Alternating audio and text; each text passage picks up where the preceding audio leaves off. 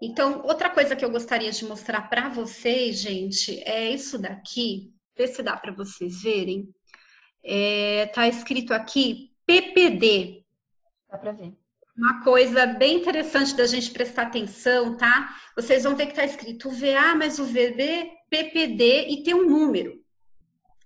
Esse número e na frente do PPD indica o quanto ele protege de radiação UVA, que é a radiação que dá o câncer de pele.